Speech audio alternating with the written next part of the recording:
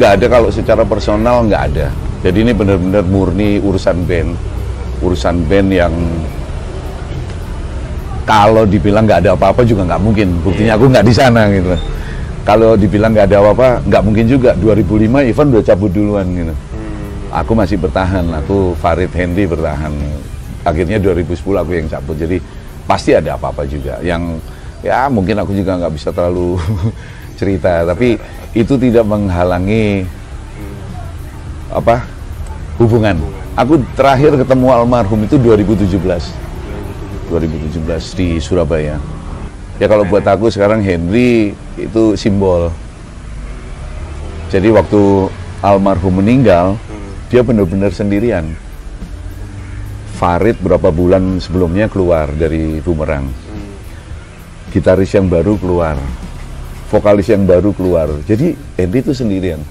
Pada saat Ivan keluar, Ivan keluar dari Bumerang, dia menandatangani surat yang aku nggak tahu surat ini ada di mana.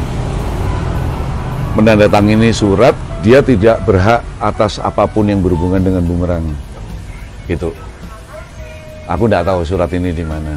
Terus waktu aku keluar, aku tidak menandatangani apa pun.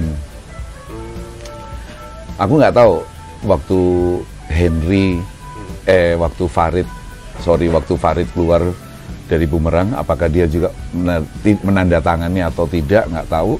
Vokalis yang baru, apakah menandatangani atau tidak. Gitaris yang baru, apakah menandatangani atau tidak. Tapi yang aku tahu, Ivan dulu tanda tangan. Dia tidak berhak dengan semua yang berhubungan dengan Bumerang. Aku keluar tidak tanda tangan apa pun. Aku nggak tahu Henry sama gitaris sama vokalis yang baru, apakah mereka tanda tangan juga atau tidak, nggak tahu itu. Jadi kalau ditanya apakah berhak make kalau aku juga nggak mengutik-ngutik itu. Maksudnya uh, ah udahlah. Buat aku sebetulnya cerita ini udah selesai. Ini kalau kalau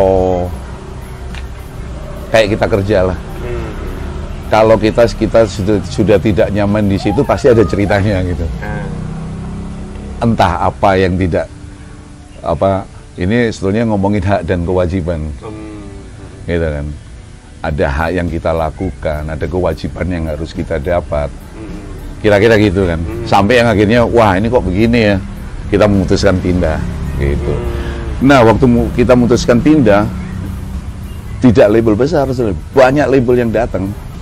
Tapi kita memang milih akhirnya gitu kita milih salah satu yang menurut kita kayaknya paling oke okay nih gitu nah. tapi tidak satu label jadi banyak tawarannya. Banyak.